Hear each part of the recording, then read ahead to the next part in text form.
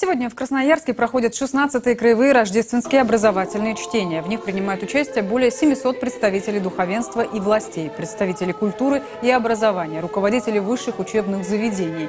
Цель этой большой конференции – разработать совместную программу нравственного воспитания не только подрастающего, но и старшего поколения. Одна из главных задач – выстроить взаимоотношения между культурами и народами, живущими в нашем крае. Форум включает в себя четыре площадки, где обсуждаются вопросы взаимодействия церкви и культуры, общества, образования, а также истории Принесейской Сибири. Выработки единой доктрины, выработки и взаимопонимания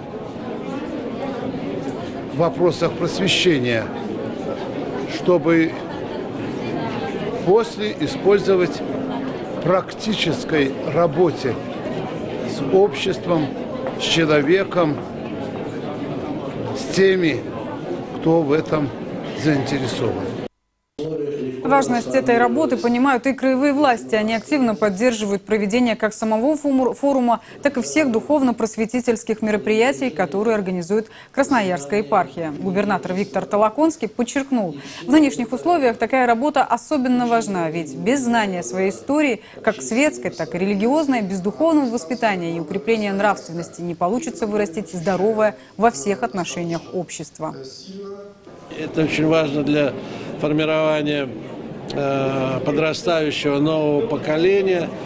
Поэтому здесь всегда после вот э, таких встреч с э, руководителем метрополии, епархии делаю ряд поручений. Вот сейчас уже кое-что там министру образования, министру культуры сказал, будем максимально энергично во взаимодействии Э, с э, Русской Православной Церковью заниматься просветительской работой по укреплению духовных традиций и нравственной культуры.